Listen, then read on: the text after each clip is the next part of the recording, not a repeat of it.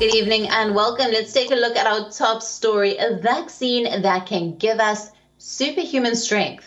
Sounds familiar to popular science fiction? Thanks to advancing research, the fictional scripts can soon become a reality. Yes, you heard that right. A top genetic scientist at Stanford University has claimed to have made a groundbreaking superhero vaccine inspired by the DNA code of Olympic athletes and can help transform humanity in the coming years. According to Euan Ashley, professor of medicine and genetics at Stanford University, the superhero jab can provide lifelong protection against three of the top 10 leading causes of death. Talking about the breakthrough treatment, the vaccine shot would deliver the blueprint of ideal cells from men and women whose genes are more disease resistant than those of the average person. Not just that, it will also have an instruction manual to help the body repair, tweak, and improve its own versions. A single dose of this could lead to a body wide genetic upgrade that would cut the risk of premature death in some adults by as much as 50%. Sounds too good to be true? Don't worry, the scientists have strong claims backing their research. Now, talking to the British news agency, the SWNS, the uh, lead scientist said, and I quote, the genomic medicine has been promised for decades, but thanks to advances in the field, we are now reaching the stage where that promise is set to become reality, ushering in a bold new era of medical treatments. Now, the next question is how does the superhero jab work? The proposed superhero shot works by delivering strings of genetic code to certain cells in the human body. This code includes multiple versions of a gene editor. The gene editor, a tool like a word processor, which alters just one letter of DNA from a disease prone version to a disease resistant version. The editors carry a long inactivated targeting virus to ensure that they reach the organ safely and are not destroyed by the body's immune system. Note that this lipid technique is used by Pfizer BioNTech to package its COVID 19 vaccine. When the superhero jab, when will it be made publicly available? Now, Ashley says that if the breakthroughs in genome research and technology continue to evolve at the same rapid pace, the vaccine could be widely available worldwide in just 10 years. Trials for the superhero jab are expected to begin as early as in 2026. The likelihood of a superhero vaccine relies on finding real life superhumans whose genes are uniquely resistant to disease, or those more capable of fighting them. And such people are between us. An example is the Finnish Olympian Eero Mäntyranta, who has an unusually high level of hemoglobin, indicating an excess of oxygen carrying red blood cells, which boosted his endurance levels.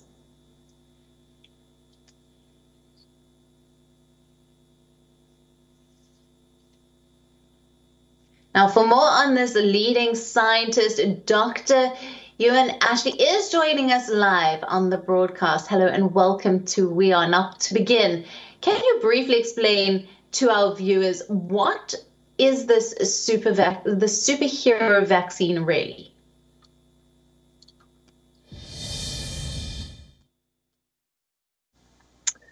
Yeah, so basically, uh, this comes from uh, all grows from the genomic revolution, our ability to sequence genomes uh, at a very low cost. So, um, and you know, this used to cost billions of dollars. It took ten years, ten countries to sequence one genome. Now uh, we can do that for a few hundred dollars, and that has has fueled a revolution in our ability to understand disease, and then potentially treat it. And so, when we start to sequence genomes at, at scale, like whole populations, we start to find people who are resistant to disease and we sometimes think of these as some as a bit superhuman. People with very low cholesterol, or people who don't feel pain, or people who um, are, are able to resist the effects of Alzheimer's disease. And what we think, and many of the pharmaceutical companies worldwide are now starting to think, is that if we can mimic those people, if we can take their uh, superpowers and, and give them to other people, it, it's a very uh, good way to, to generate new medications.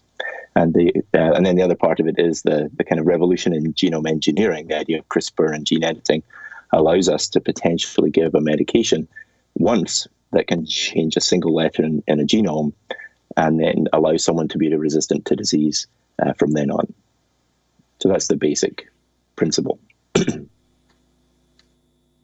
now, Doctor, my next question to you is uh, Would this not create a world where the rich who could afford the magic pill uh, can have designer babies with all the best genes, while the poor would then continue to languish, uh, which would be something written and portrayed in many of the futuristic books and movies.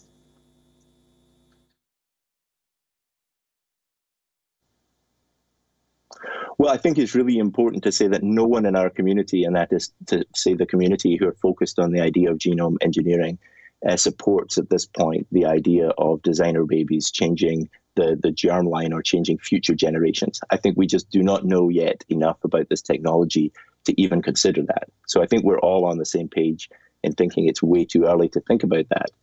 But I think it's not too early to think about targeting certain cells in the body for certain individuals to try and relieve them of suffering and relieve them of disease. But you speak to a very, another very important point, which is we don't want these medications to only be for the rich or for the rich countries. And it's very important, I think, that we put more uh, time and effort into moving the science forward so that we can get those uh, studies done and we get these medications out to the whole world.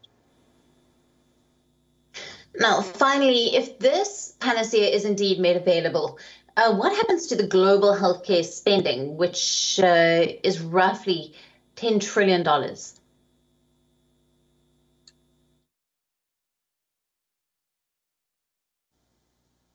Wouldn't that be a wonderful world to, to live in? Well, you know, as a doctor and a scientist who tries to prevent heart disease, uh, I would love a world where we didn't see any more heart disease, where heart disease was not the number one killer across the world. I would be happy uh, to be put out of a job as a doctor if everyone had a great diet and exercised and was resistant uh, to disease. We're really focused, though, of course, on not making people live forever, but rather giving them good quality of life. But fortunately, those two things go together. If we can push out disease, people can ha- live a longer and, and healthier life. And if that meant less healthcare spending, then I think we'd all be very happy with that.